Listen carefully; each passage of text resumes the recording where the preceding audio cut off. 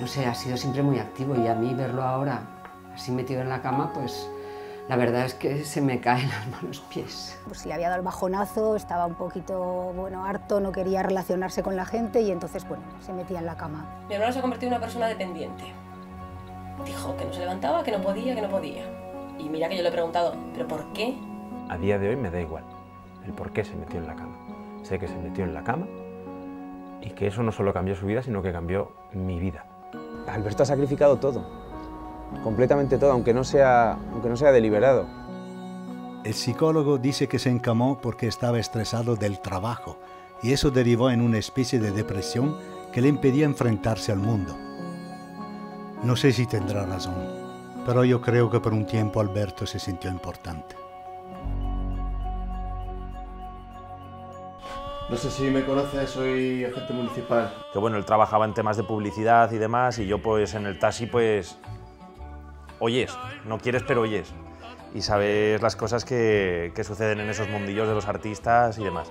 Es que no estoy enfermo, es que bueno, si quieres puedo fingir, ¿no? Puedo decir No, no, no, que no. venga otro médico y me haga ahí el loco, ¿no? A ver qué es lo que podemos hacer con usted porque es un caso, mm, si me permite, raro, raro. No quiero decir nada, pero, me- pero me estás entendiendo perfectamente. O sea, eh, la, la vida fácil. Este certificado donde figura que usted no está enfermo, ¿no? Donde lo Bueno, ¿qué pasa? Que ahora desde que no pago me tratas de usted. No, hombre, no. Antonio.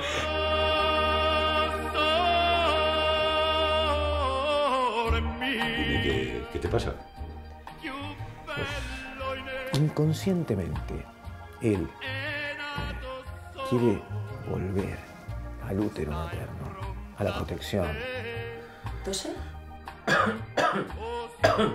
Tiene su parte buena, porque yo nunca había mirado un, no sé, un álbum de fotos con tanto detenimiento. ¿Por qué? ¿Por qué tú no te levantas de la cama? Estoy bien, ¿no? Más o menos. Hay algo. Hay algo que me impide ponerme de pie.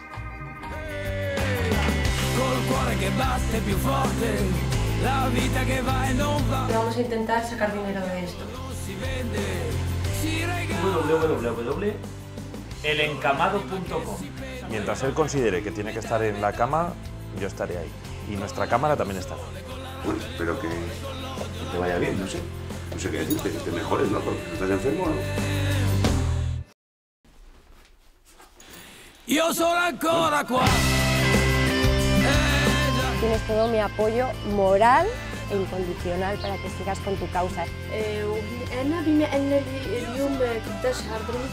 Creo firmemente en la resistencia pasiva de Alberto. Puede hacer temblar los cimientos de una sociedad, de esta sociedad.